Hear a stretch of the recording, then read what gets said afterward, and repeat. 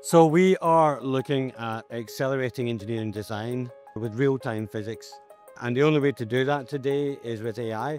The problem we are trying to solve, if you are doing engineering design and you want to understand physical consequences of what you've just done, it can take several days to just do that, to get an answer to the physics, optimizing designs for like maximum performance, doing one iteration every few days is not really worth it, right? You really want to be running tens of thousands of iterations to optimize designs. Our technology is AI and built on the high level AI libraries like PyTorch, all built on CUDA and on NVIDIA technology.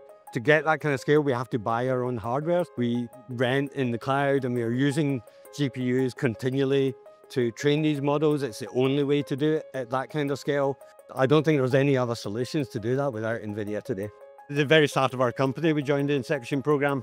There's probably multiple advantages that we've got out of it. One, we acquired our own DGX H200 hardware. We were one of the first in the world to get those boxes. You get good discounts on it as an Inception member. So just on things like that, it's immediately valuable. But then connections into teams in NVIDIA, to events like GTC, the teams we work with, you know, you get all these advantages that we wouldn't otherwise get. Like here in GTC Europe, we have an Inception booth, you know, so you're getting access to conferences like this for small startups, which is like, has been hugely valuable to us.